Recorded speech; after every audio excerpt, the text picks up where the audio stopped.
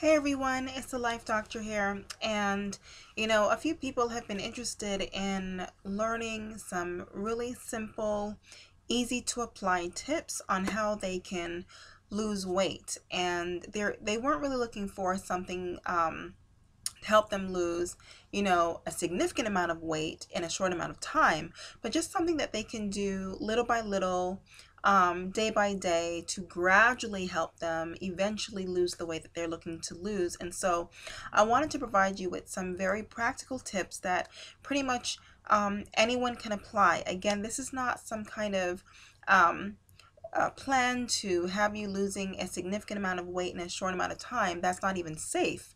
Uh, so I certainly wouldn't be promoting anything like that. But these are just some simple tips that um, I have implemented in my own life and that I think can be um, applicable to anyone looking to lose weight, not just to lose weight, but just to maintain overall health. Um, so I think that these are good tips, um, even if you are in shape and you are at your desired weight. So the first thing is you're going to want to drink a lot of water. And this is nothing new. You probably already know this, but um, a lot of times we have the information and we have an issue implementing the information, you know, putting it into practice. But you've really got to drink a lot of water. I know that I need to, you know, do this even more. Um, but drinking water is such an important thing that we can do that will, yes, aid in weight loss. Um, but beyond that, or in addition to that, it will help flush out and clean the system.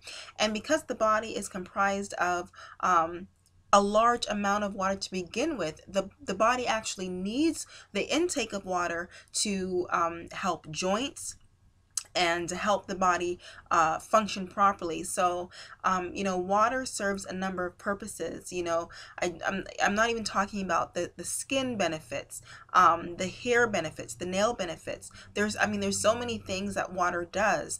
Um, but, you know, if you're just talking about uh, losing weight, maintaining weight, you definitely need to be drinking water.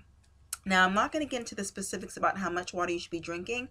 There are a plethora of rubrics that you can look for online. Um, some people make a general statement about six to eight glasses a day. Um, I don't like to say that um, because everybody's diff- everybody's different and everybody's body is is you know has a different kind of composition. So certainly I don't think I need to be drinking the same amount of water as my four year old son. Like that's so, you know, you do your research on the amount um, of water you should be drinking, and you can easily look that up online. But you do need to be drinking a good amount of water. That's number one. Number two Eat as many fruits and vegetables as you can, particularly vegetables and preferably raw. Now, of course, we know that raw fruits and vegetables help to cleanse out the system as well because it is providing the body with roughage and we're getting the vital nutrients and minerals that we need because it's raw and the nutrients are not cooked out or steamed out. So, um, we really want to make sure that we are taking in as many fruits and vegetables as we can. Um, and in addition to it um, helping, you know, us with our um, digestive system and cleaning things out, it actually helps to keep us fuller longer so we will be less tempted to eat foods that we shouldn't be eating. And speaking of being tempted, this brings me to number three. Remove the foods from your home that are causing you issues. If you are tempted to eat things like chips, cookies, whatever, then just take them out of your home or um, purchase replacements for those things. So, purchase uh, replacements that are healthier versions of the things that you like to eat, at least, um, so that you're not, um, you know, you're not engaging in eating behavior that is not healthy for you. So number three, either take out the temptation or replace them with healthier versions. All right. Number four, stay busy, stay active. A lot of times we eat mindlessly because we're bored. But if you keep busy and if you keep active, and by active, I mean exercise, that's important and it's healthy, it's necessary. Um, that will help to keep us moving, keep us busy, keep us on the go, and not have you know, as much time to be bored with nothing to do and then, you know, likely to eat and overeat. So everybody's fitness level is different. Everybody's abilities they they vary so you know what i can do you may not be able to do what you can do maybe i can't do but you know you can get out there and walk you can um, you know do floor exercises. You can do jumping jacks. Maybe you can do jump rope. But but honestly like walking is an excellent form of exercise. It's really easy on the joints. Um, it, it it's, it's it's it's something that is free. You don't have to join a gym to do this. Um, you can absolutely take advantage of it.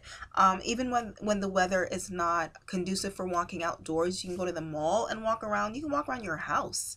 You can walk up and down your stairs if you have stairs. So, you know, there really is no excuse for not being active. Um, so certainly you should be able to to to, to walk. So uh, let's review. So number one was drink plenty of water. Number two was eat as many fruits and vegetables as you can, um, preferably raw. Um, number three is to remove the temptation, remove those tempting foods out of your home or replace them with something that is like a healthier version of it. And then number four, stay active, stay busy. Don't allow yourself to get bored. A lot of times we eat because we're bored. We're like just mindlessly eating because we're bored. So I hope that these four tips have been helpful for you and that you, um, you know, make up your mind to implement them, apply them to your life so that you can see positive results. All right, so this is the Life Doctor. I will see you in the next video. Bye.